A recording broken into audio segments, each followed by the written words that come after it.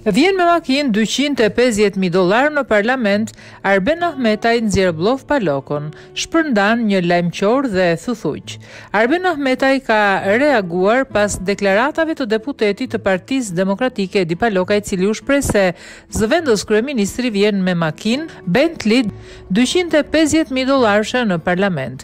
Ahmetaj ka përgënjeshtruar lajmin duke publikuar dy foto në rrjetet sociale ku ironizon me fjalët, Kush e gjen dot ndryshimin mes një Hyundai Genesis njëzet e tetë mijë dollarë me një Bentley dyqind e shtatëdhjetë mijë euro?